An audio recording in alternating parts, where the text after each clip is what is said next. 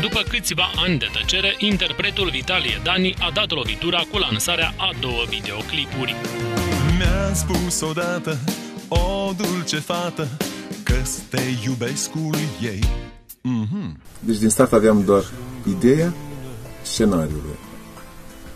Bunelu și invită nepotul și arată un medalion și spune, uite, te rog să mergi să cauți prima mea iubire.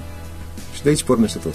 Nepotul pornește și camera pleacă în trecut și arată desfășurarea eveniment, evenimentelor cum s-au întâlnit Bunelu cu prima sa iubire. Ambele clipuri au fost filmate în Italia, însă conțin și imagini din Moldova. În una dintre scene apare și actorul Vitalie Rusum.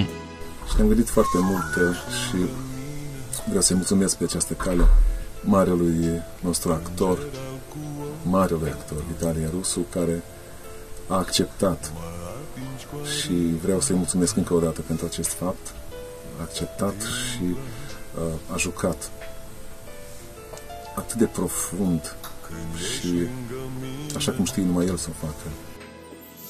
Vitalie Dani recunoaște că i-a plăcut această îndeletnicire și a rămas surprins de faptul că ambele clipuri au fost filmate în doar câteva zile.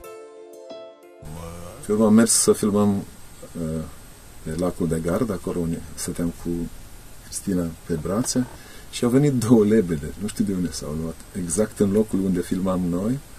Un caz haios este că eram desculț când filmam și o lebede ce i-a dat în gând și a început să mă, nu știu, de, de deget, știi?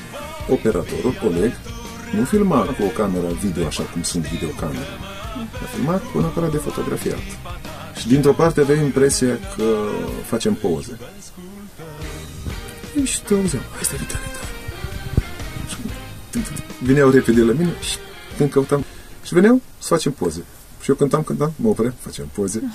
Uh, într-adevăr, mulți moldoveni erau acolo și am făcut cunoștință cu multă lume. Videoclipurile au fost filmate pentru piesele Eu sunt te iubescul tău și Când ești lângă mine tu. În ambele cazuri, regia aparține soților Ina și Oleg Botnarum.